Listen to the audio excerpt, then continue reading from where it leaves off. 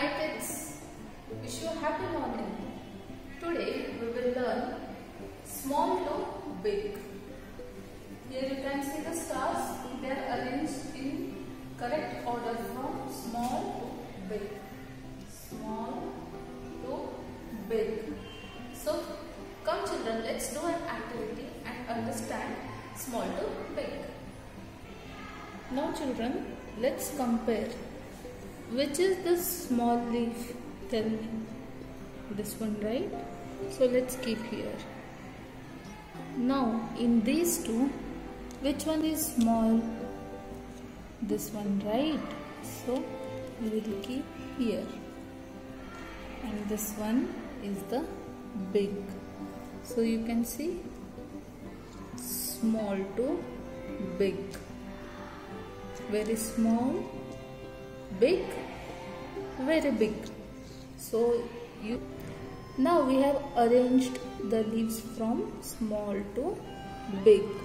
First small then big then bigger. You can see here the stones children. Yes. Now we will keep them in the correct order from small to big. Which one is the small stone children? Tell me this one right? So we'll keep here the small. In these two compare which one is small this no this one. So we will keep here. And the next one is bigger. So small to big. Small stone big stone bigger stone are the flowers arranged in proper order from small to big children? Look.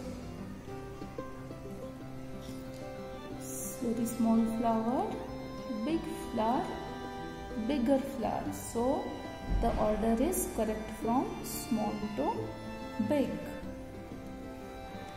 Now children, here the chalks are arranged in proper order, correct order from small to big. You can see the very small chalk, then big chalk, then bigger chalk. So the arrangement or the order is proper from small to